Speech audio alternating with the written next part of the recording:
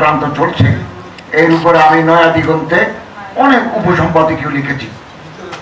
এবং আন্তর্জাতিক ইসলাম বিশ্ববিদ্যালয়ে ইমাম মোহাম্মদ ইউনিভার্সিটি রিয়াদের যৌথ ব্যবস্থাপনায় আমি একটি সেমিনারও বক্তব্য রেখেছি। এবং বেশ কয়েক বছর আগে আমি বাহরাইনে একটা সিম্পোজিয়াম করেছি। এই Christian missionaries in Chittagong hill tracts এটার উপরে। তো সেমিনারের পরে বাহরাইনের মানামায়, রাজধানী মানামায়, বাহরাইন বিশ্ববিদ্যালয়ের একজন অধ্যাপক এরপর আমারে প্রশ্ন করেন, পার্বত্য চট্টগ্রামে এভাবে ক্রিশ্চিয়ানিটি এই যে আলাদা রাষ্ট্র করার শক্তি অর্জন করতে যাচ্ছে তো মুসলমানরা কোথায়? বাঙালিরা কোথায়? তারা কেন নীরব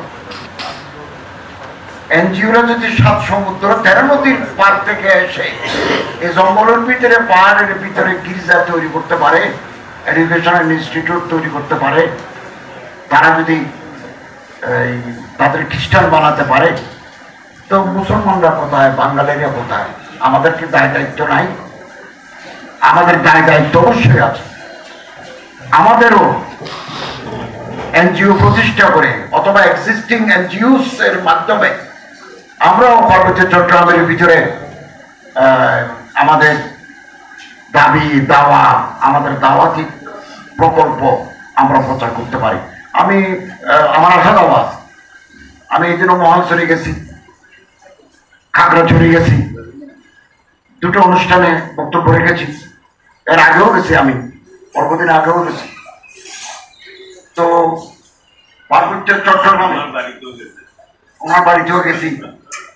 এই যে উনিশশো সালের পার্বত্য চট্টগ্রাম শাসন বিধি এটা কমপ্লিটলি আনকনস্টিটিউশনাল অসাংবিধানিক আইন ছিল।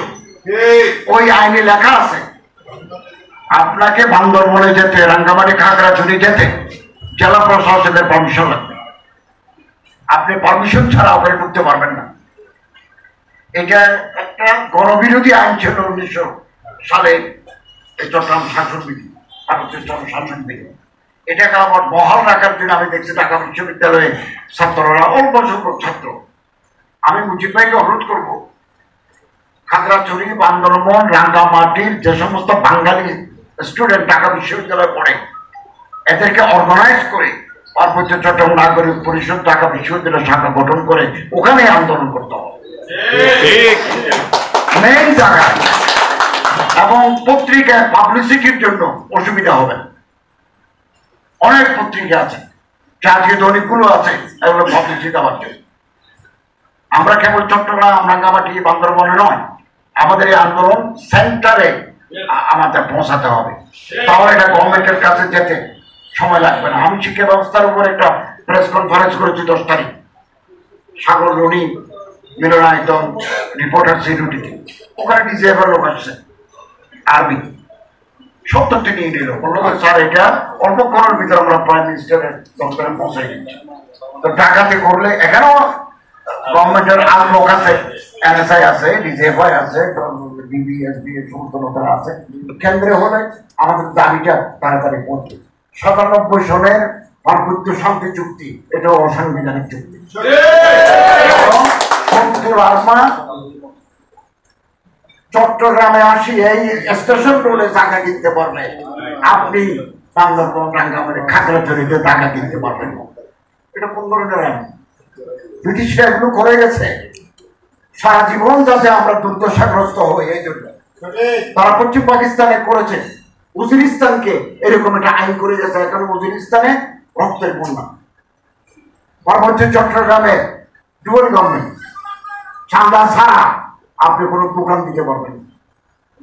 আমি অনেক ভিতরে অনুষ্ঠান করে, মাহফিল করে, রাত গভীর রাতে ফিরি। গভীর রাতে ফিরি।